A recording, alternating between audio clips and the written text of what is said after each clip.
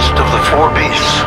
And I looked, and behold, a pale horse, and his name that sat on him was Death, and hell followed with him.